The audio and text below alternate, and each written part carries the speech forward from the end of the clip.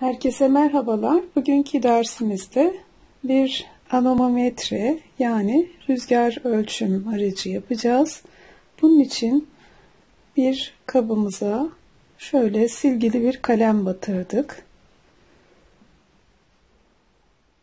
Şimdi onun üzerine bir kağıt bardağı dört tarafından deldim şu şekilde ve iki tane pipet çapraz olarak geçirdikten sonra tam orta yerinden bir iğne ile toplu iğne batırmak suretiyle şu şekilde hazırladım.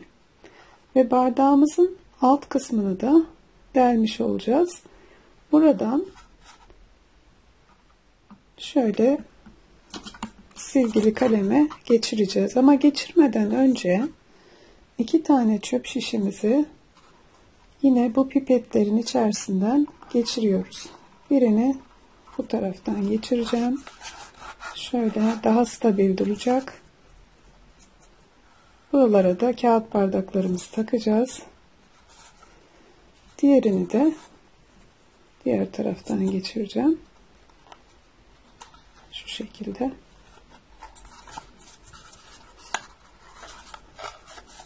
Bunu yaparken toplu iğnemizin alt tarafta düz durmasını sağlamamız gerekiyor. Bu taraftan çok sıkışırsa diğer tarafından geçireceğiz. Evet bakın şu an toplu iğnem kaydı. Onu düzeltiyorum hemen. Şöyle toplu iğnenin aşağıya dik durması gerekiyor alt kısımda. Şimdi sabitledi. Daha stabil hali aldı. Şöyle sabitlemiş olduk.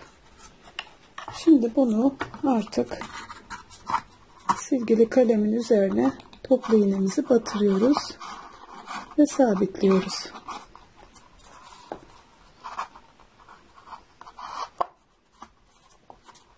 Biraz yukarı çıkarayım.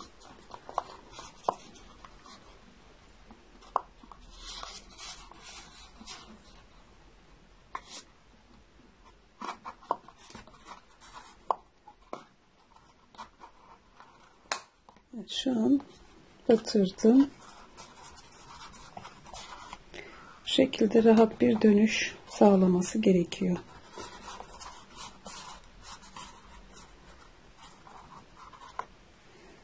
Bunu bu şekilde sabitledikten sonra artık kağıt bardaklarımızı alıp şuralara bu şekilde monte edeceğiz.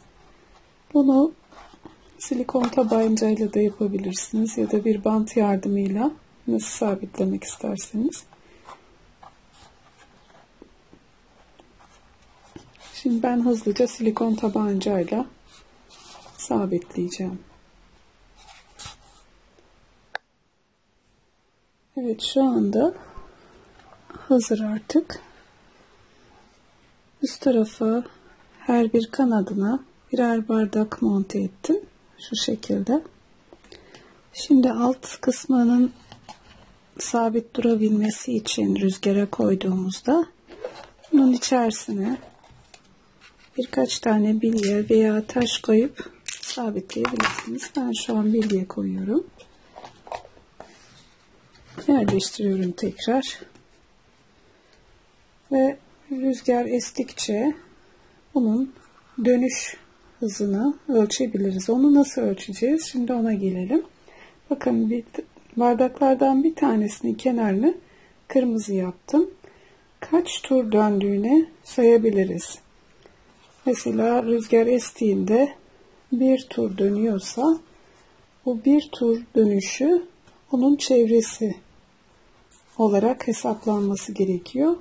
Çevre hesabından kaç tur döndüğünde kaç santimetre hareket ettiğini ölçebilirsiniz. Şimdi mesela şöyle fön makinesiyle ben bunu çevirmeye çalışayım. Bakın oldukça hızlı bir dönüşü var.